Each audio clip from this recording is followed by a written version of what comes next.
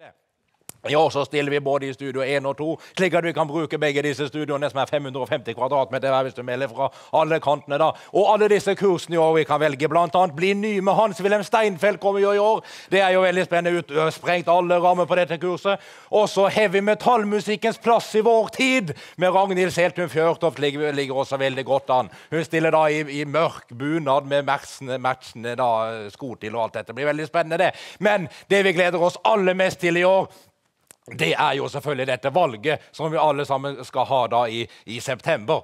Og der er det jo veldig mange ting som, som dukker opp. Og mest av alt er vi glade for å kunne, kunne delta i, i, i, dette valget. Og nå stoppet det litt opp, men vi må få bare tenke oss litt om. fordi det er det femte valget på rad hvor jeg stiller rosa, og det er vi også veldig glade for. Og, men utviklingsavdelingen her i NRK sliter jo litt med at jeg skal da være både på rød og blå og gul og grønn og rosa valgvake. Derfor har de kommet opp med denne praktiske, hendige kopien. Geir, vær så god!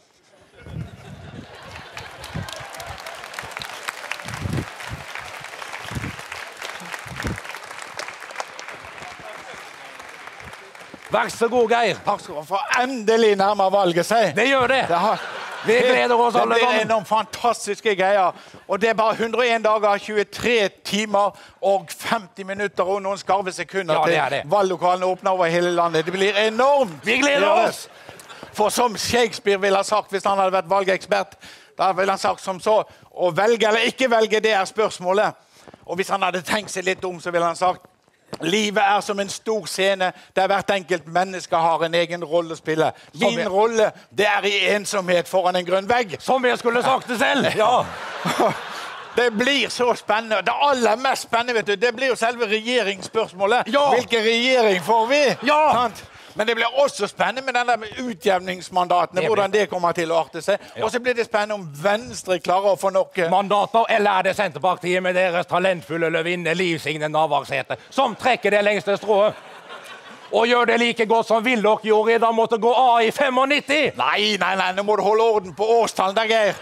For det, han gikk av i 86, men valget det var i 85. Og det blir like spennende som det valget. Og det var forresten også det valget hvor Kjell Magne Bondevik fikk to utjevningsmandater. Er. Historisk. Historisk var det.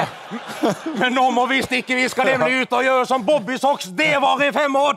Vi skal ut og farge byen rosa. Godt valg, Godt alle sammen. Og lykke til med fagdagen. Men nå må vi stikke den veien der, for vi skal nemlig ut og kikke litt på Vi skal nemlig ut en liten tur. vi. Ha det bra, alle sammen.